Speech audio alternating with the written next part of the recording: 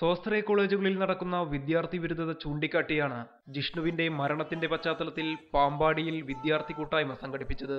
നിരവധി വിദ്യാർത്ഥികൾ കൂട്ടായ്മയുടെ ഭാഗമായി. ക്യാമ്പസുകളുടെ നഷ്ടപ്പെട്ട ജീവൻ തിരിച്ചുകൊണ്ടുവരാൻ ജനാധിപത്യ വേദികൾ ഉണ്ടാക്കണമെന്ന് കൂട്ടായ്മ ഉദ്ഘാടനം ചെയ്ത് ആഷിക്കബു പറഞ്ഞു.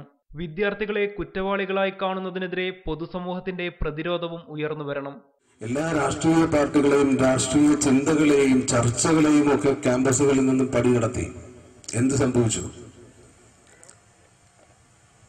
വളരെ സീരിയസ് ആയിട്ട് കാര്യങ്ങളെ ഡിസ്കസ് ചെയ്യേണ്ട ഒരു വൈബ്രന്റ് ആയിട്ടുള്ള ഒരു വിദ്യാർത്ഥി സമൂഹത്തെ ഇങ്ങനെയാണ് ഒരു സമൂഹം ട്രീറ്റ് ചെയ്യുന്നത്. എസ് എഫ് ഐ നേതാക്കളായ V P Sanu M Vijin Jaick C Thomas DYFI സംസ്ഥാന joint secretary P B Anoop തുടങ്ങിയവരും സംസാരിച്ചു. റിപ്പോർട്ടർ തൃശൂർ.